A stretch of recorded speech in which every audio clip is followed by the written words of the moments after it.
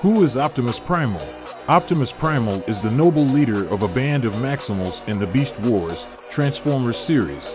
He is a direct descendant of legendary Autobot leader Optimus Prime who, like his namesake, started from humble beginnings with no idea that his destiny would be tied to the fate of Cybertron and all Transformer kind.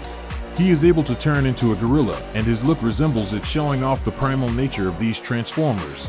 He has appeared in the Beast Wars Transformers television series, comic books that include the sequel to the television show. He has appeared in video games as a playable character. He is even going to be featured in a live action adaptation known as Transformers Rise of the Beasts.